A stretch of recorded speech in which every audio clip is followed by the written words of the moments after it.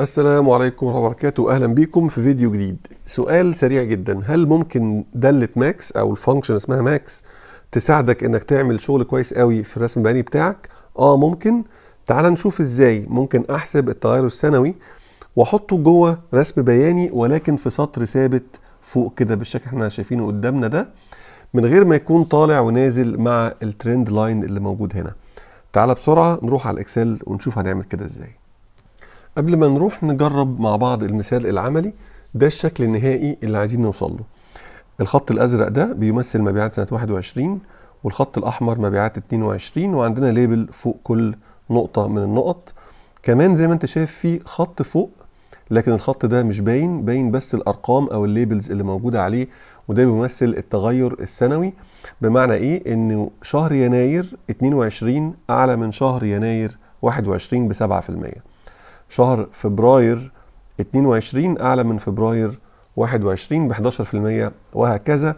ولو خدت بالك هتلاقي الليبلز دي المحاذاة بتاعتها 100% يعني ولا واحد طالع ولا واحد نازل يعني لا في قيمة فوق ولا قيمة تحت كلهم على نفس السطر بالظبط رغم إن القيمة بتتغير يعني 7 11 7 8 ومع ذلك كلهم aligned بالشكل ده. ده الجدول اللي فيه ال data في ال columns عندي كل الشهور وعندي بعد كده في السطور سنة 21 وسنة 22 وأنا مجهز خانة أو سطر زيادة عشان أحسب فيه نسبة التغير من سنة إلى سنة. يعني عايز أشوف شهر يناير سنة 22 اتغير بنسبة قد إيه عن شهر يناير سنة 21 وهكذا. طب عشان أعمل كده تعالى مبدئيا نطرح الاثنين من بعض. أطرح مين ناقص مين؟ هطرح السنة الجديدة ناقص السنة القديمة فهيديني الرقم absolute 81 و76 من 100 ده الفرق بين الاثنين absolute يعني القيمة فرق القيمة نفسها 81 و76 من 100 طب لو عايز أحولها لنسبة مئوية يبقى أحطها جوه قوسين. بص كده معايا ال formula bar. هحطها جوه قوسين وبعد كده أقسمها على السنة القديمة اللي هي سنة 21 سنة الأساس. هقسم على 21 ولو عملت نسبة مئوية هيدي لك 7% نسبة التغير ما بين السنتين لشهر يناير. طبعا لو شديت المعادلة هتشتغل بشكل هايل. هل في طريقة أبسط للحسبة دي؟ آه في طريقة بسيطة جدا ويا ريت تجربها على طول. أنا هاخد السنة الجديدة اللي هي 22 وبعدين أستخدم علامة على أقسمها على السنة القديمة.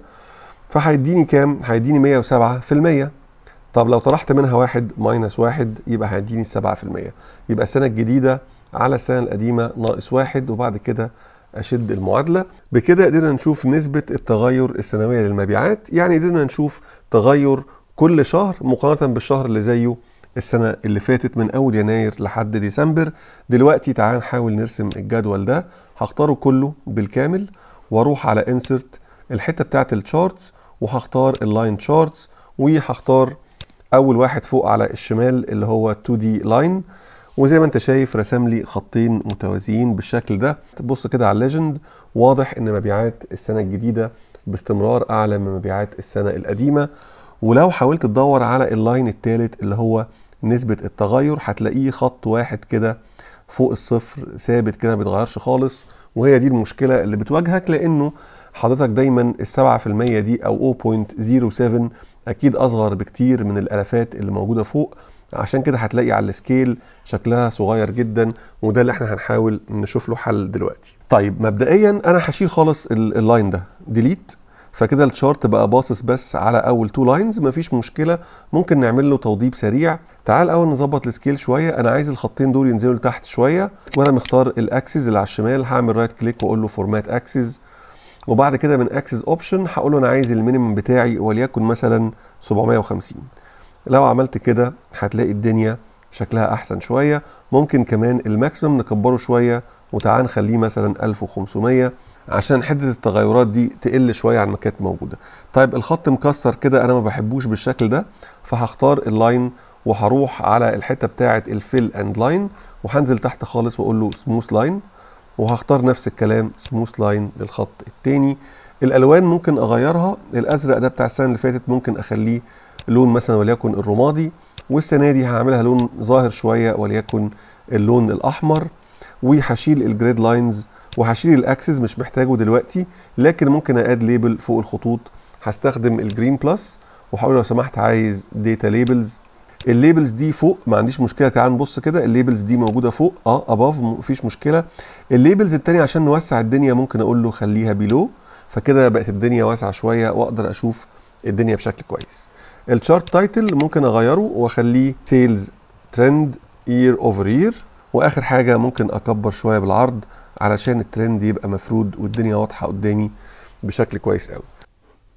دلوقتي أنا عايز أزود ال year over year الخط اللي موجود هنا ده أو السطر اللي موجود ده عايز أزوده في ال chart من فوق ويكون ثابت لا بيطلع ولا بينزل زي الترند كده. طب عشان أعمل كده هستخدم MAX هنا هيجي دور MAX طب هعمل إيه؟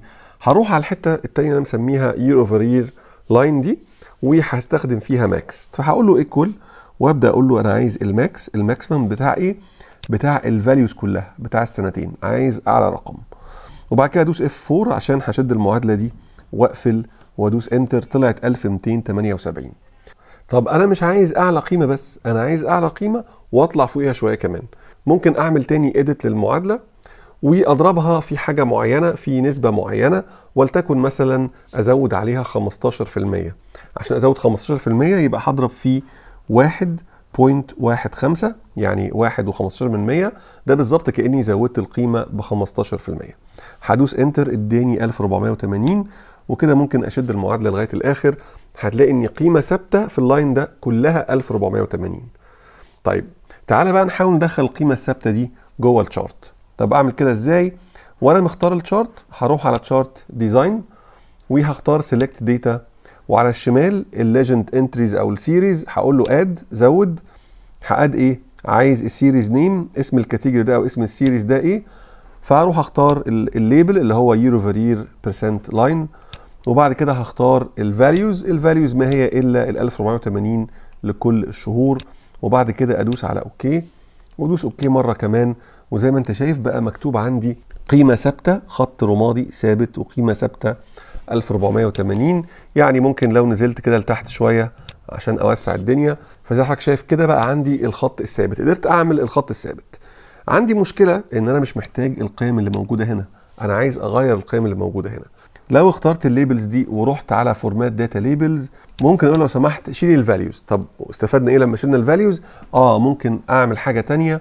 في حاجة اسمها value from cells يعني هاخد قيم من سطر تاني أو من مكان تاني. أول ما هعلم عليها هيفتح لي ال box الصغير ده بيقول لي data label range هدوس على السهم اللي جنبه وأختار بقى إيه الحسبة بتاعتنا الأصلية اللي فيها النسبة المئوية وبعد كده أدوس على OK فهتلاقي ال year over year بقت مكتوبة هنا في سطر ثابت زي ما حضرتك شايف كده بالظبط.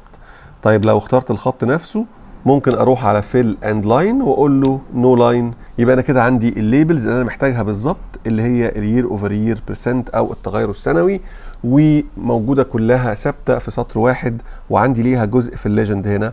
لو حبيت أميزها عشان الناس تشوفها ممكن أديها لون مختلف فممكن أختارها كلها ومن فوق أختار اللون الأخضر زي ما كنا عاملين.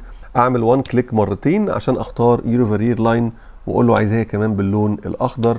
وبكده نكون قدرنا نوصل اللي إحنا عايزينه رسمنا ال trend line ومن غير ما نستخدم secondary axis زي الناس ما بتعمل قدرنا نحط ال year over year في خط ثابت فوق وشكلها كويس جدا واخترنا القيم بشكل هايل. بكده نكون وصلنا نهايه الفيديو. لو عجبك لو سمحت اعمل like واشترك في القناة وسيب لي تعليق. كمان هتلاقي هنا لينكات لبعض الموضوعات المهمة ممكن تاخد فكرة عنها. واشوفكم الفيديو الجاي. والسلام عليكم ورحمة الله وبركاته.